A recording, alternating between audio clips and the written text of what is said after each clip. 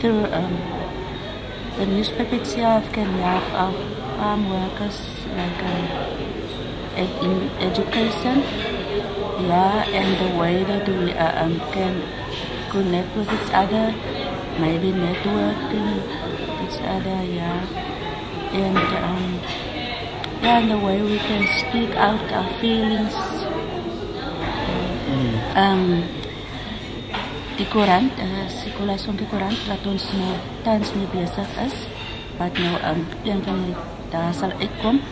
En ons het besluit om te begin met die, die koerant uh, um, vir onsself te eien, sodat ons uh, um, die probleme op die plase kan opneem, die ware feite, die, wat eintlik werklik gebeur um, op die plase in die gemeenskap, sodat dit kan uitkom want ehm um, die ander koerante wil nie die ware feite vorendag bring nie. En dit is 'n manier hoe ons ons plaaswerkers in die gemeenskap gaan help sodat die wêreld in die hele gemeenskap kan weet wat gaan eintlik aan op uh, die plase en omstandighede waar in die mense daagliks mee. Te doen het. So, what are some of the kind of stories you're planning for the first edition?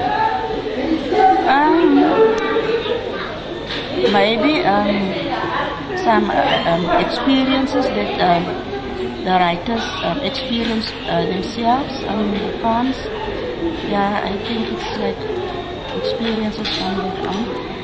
And um, yeah, and the way that uh, um, the workers uh, live on the farms, like the bad issues, uh, working conditions that they uh, um, deal with every day.